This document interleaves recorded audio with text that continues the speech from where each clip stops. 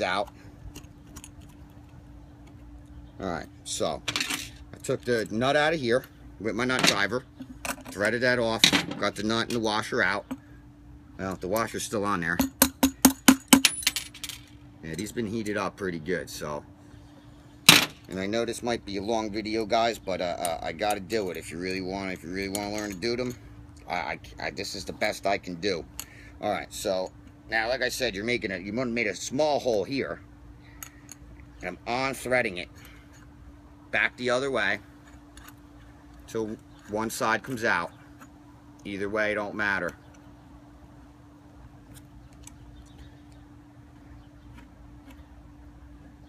Uh, I won't go any further without this.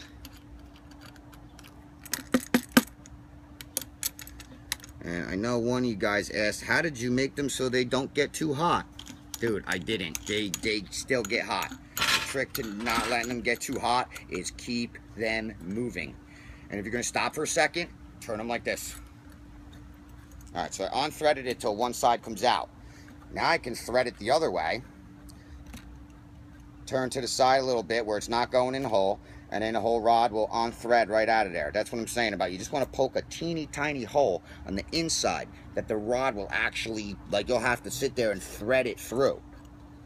And I know not everybody is, is mechanically inclined. That's why I'm saying if you got any friends that work in the building trades, plumbers, electricians, carpenters, uh, you know, even a tile guy could probably, might have, you know, would have a screw gun and these tools on his truck so if you got any friends like that, I'm sure that'll help you. If not, you can reach out to me and I'll do the best I can.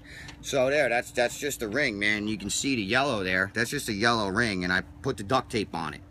And uh, it protects it. And then it gets burned, it gets melted, it gets blacked. Every couple of weeks or a couple of months, you peel the tape off, you clean it up, and you put new tape on. And uh, I had another set that I didn't put the tape on, and I painted them all nice and beautiful. I was like, yeah, it's awesome. And and from not having the tape, I had burns and melts, and it, it they tweaked.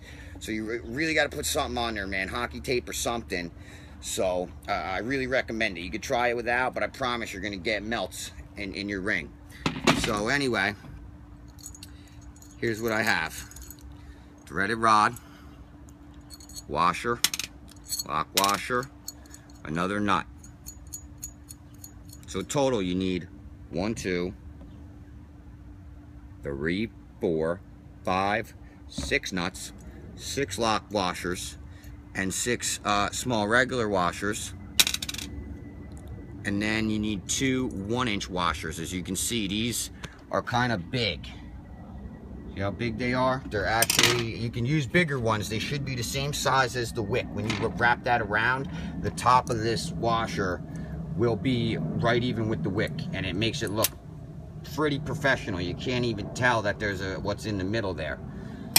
All right.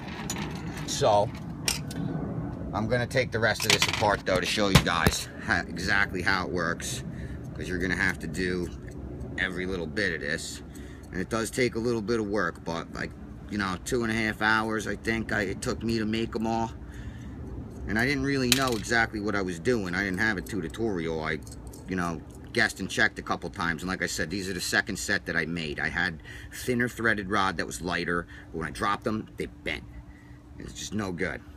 And like I said if you're a better juggler that thinks you could do seven of these without dropping that much go for the eighth inch threaded rod that's why I say you got to have two of these. You need two pairs of pliers. You could use adjustable wrenches.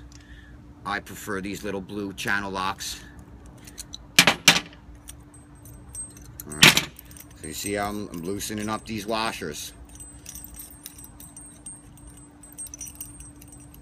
Yeah, my hands are going to be black. When you guys make yours, you'll have the uh, advantage of having all nice, clean, threaded rod.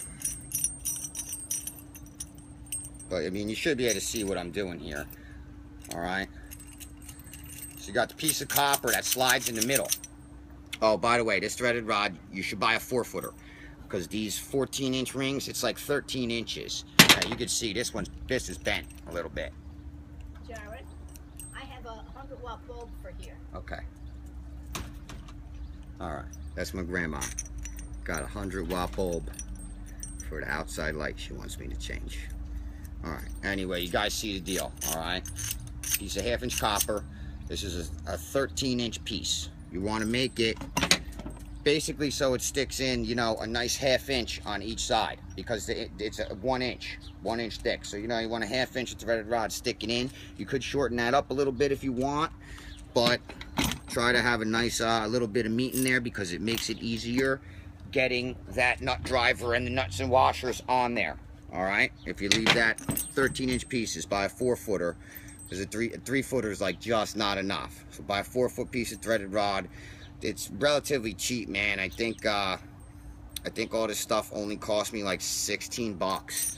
But the uh, the wicks, I forget what the wicks were. They were like 3.99 a piece or something, and then the rings were 10 bucks a piece. I already had these, you know. So, like I said, it's it's not that expensive. So. Anyway, you cut your piece of copper. I already showed you that. You slide it on. You measure it. 13 inch piece. It's seven and a half or six and a half. And you get it as center as you can. And then you tighten up. Tighten your nuts and washers back up. I got that nice little black mark, so I know exactly where they were.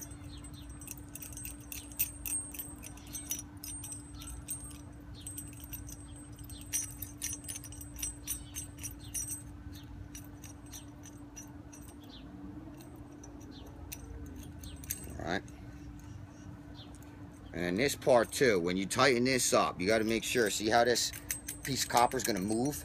Well, you got to kind of try to hold it in the center. You don't want it to be off. You want it to be pretty, pretty close.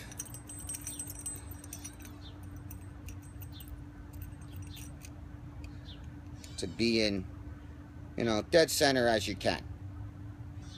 Like, you'll pretty much be able to tell if it's crooked.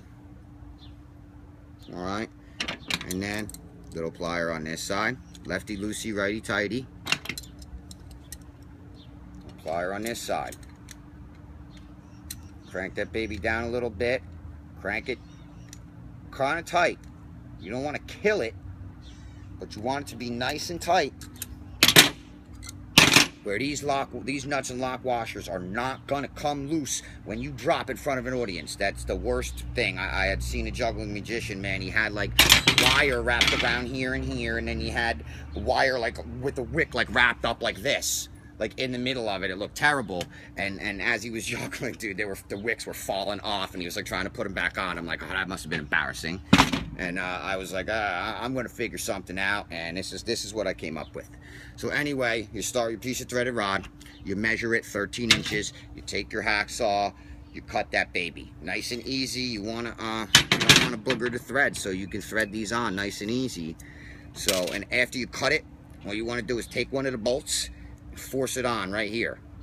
Force it on, make sure it goes on, take the little pliers and force it through. Make sure you can just thread it right on with your hand. Nice and easy and thread it back off like three times. And then you'll be good to try to take the nut driver and, and just get it on there. That's, like I said, that's the hardest part.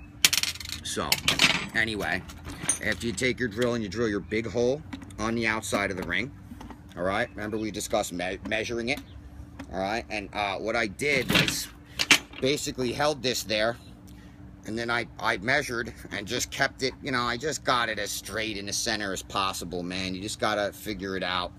There's no really way to measure it. There's nothing square or straight to, to measure off of. You got here and here and here and here. And that's what I did with the tape measure. I put the tape measure across when I tighten this up. But, and now I got my little black marks. But you guys will figure out how to, you know, you got to get it center. So anyway, dang, if you drill your big holes, you take uh, what I did, I just took the Phillips head bit, I think, and just went like this.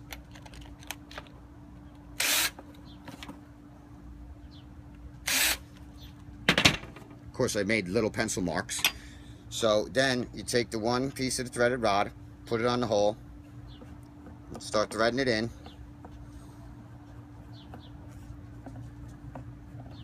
Now here's the trick. You thread it down further than you need to on the one side. This way, you could put on one of your washers, then your lock washer, okay, see that? Then your bolt, or your nut. Then, ah, you know what? I missed a part. That's what I did wrong. See, I gotta put nuts and lock washers this way too. And they're still there on the table. I didn't put them on. So, anyway, once you have this piece, you thread on one, you put one washer on, then the lock washer, then your nut. Quarter inch nut, quarter inch washer, quarter inch lock washer. The dude at the hardware store will, will pretty much know what you need. Again, other side, regular flat washer, lock washer, and I thread on a nut.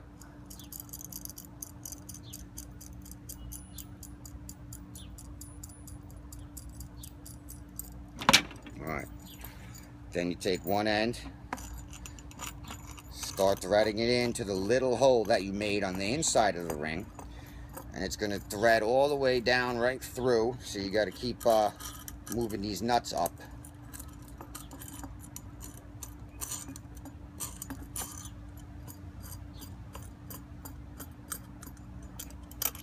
You want to thread it all the way back on one side.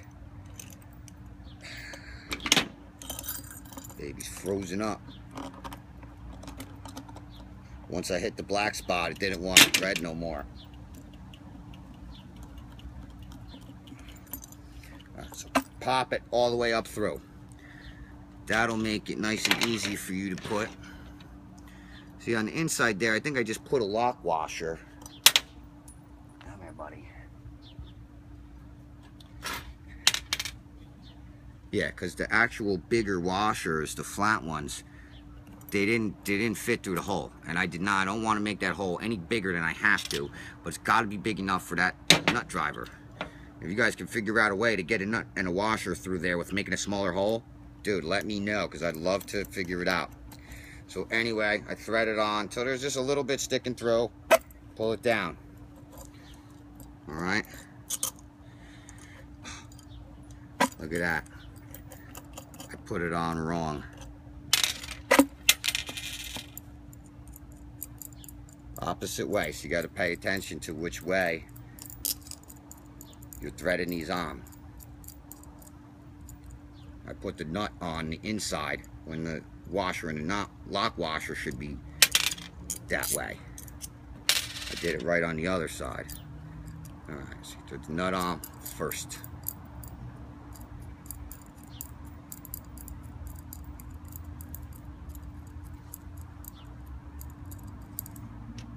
Then the lock washer, then the flat washer. We'll pop it through the small hole. Mine just pops through because it's worn. So you guys should uh, be threading it through there.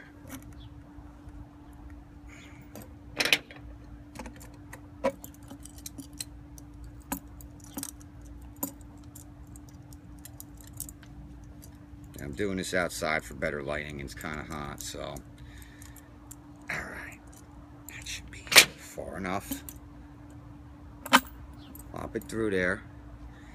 On the inside, you really only got to put a lock washer. You don't have to get a, a, a flat one.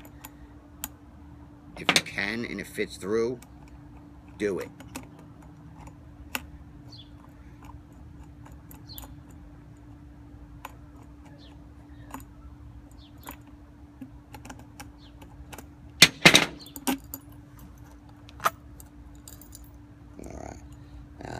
Pretty much see what I'm doing here. I'm, uh, gotta keep playing with these nuts. With the nuts. Mine don't want to thread because there's dirt and soot in there. So I gotta keep threading this nut down until I can push it far enough. See how it's it's hitting there on me. So